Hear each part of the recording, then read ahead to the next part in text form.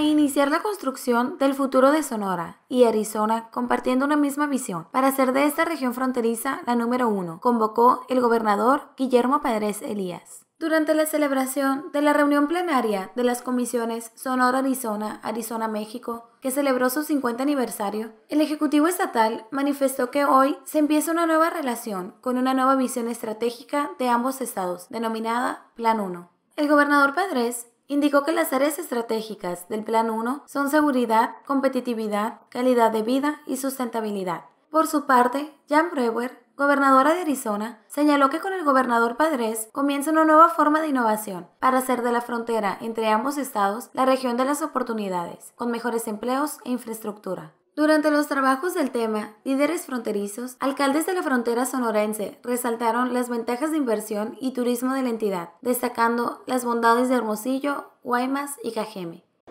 Sonora y Arizona comparten una misma visión, la de ser una zona fronteriza consolidada en lo social, económico y comercial. En este sentido, hemos acordado fortalecer este enfoque de progreso para nuestra frontera. Para ello, anunciamos hoy nuestro compromiso de trabajar en una nueva visión estratégica de Sonora, Arizona, la cual hemos acordado denominar Plan 1, el cual permitirá que ambos estados aprovechen las áreas de oportunidad y opciones inéditas de desarrollo que se presentan en el entorno de la globalización.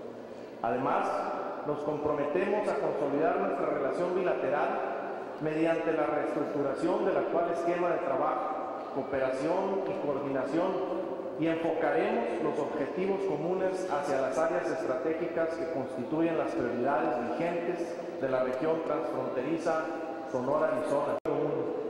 El desafío es indiscutible e inaplazable no tenemos tiempo que perder ni esfuerzo que escatimar.